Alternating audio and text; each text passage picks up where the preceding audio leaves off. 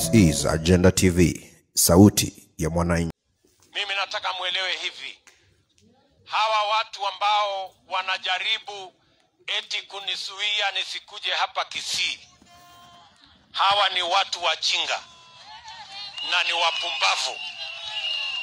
Sikizeni, katika Kenya ya sasa yu, ukisikia kiongozi anasema kwetu, anasema kwenu, anasema kwao, huyo ni kiongozi tribalist. Tunaelewana?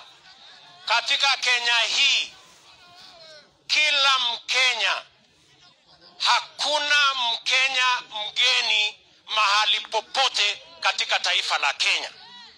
Ukiwa mahali popote katika Kenya hii, uko nyumbani.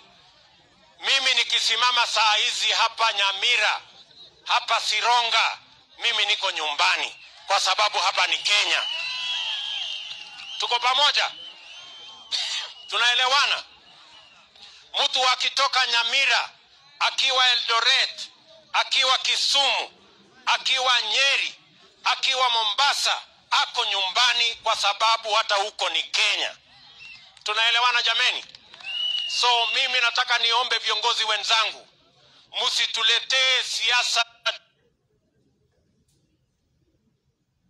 kwao. Sisi tuko Kenya hii sote, na kila mahali Kenya hii hakuna mgeni Mkenya mgeni in any part of Kenya. And it is good for me to tell fellow leaders to stop the politics of balkanizing Kenyans. Ambia siasa ya ukabila tulimalizana nayo. Nyinyi wakati mnatuambia siasa ya makabila, sisi tunataka kuwaambia siasa ya mahasla.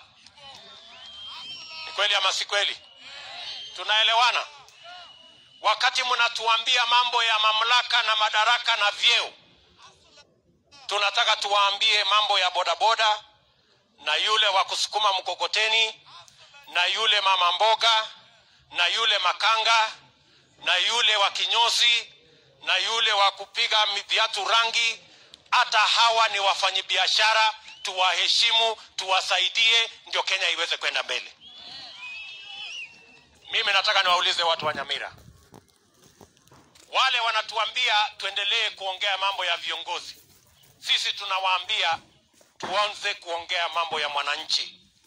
Mnataka tuendelee kuongea mambo ya viongozi ama mnasema tuanze kuongea mambo ya mwananchi? Mambo ya viongozi ama wananchi?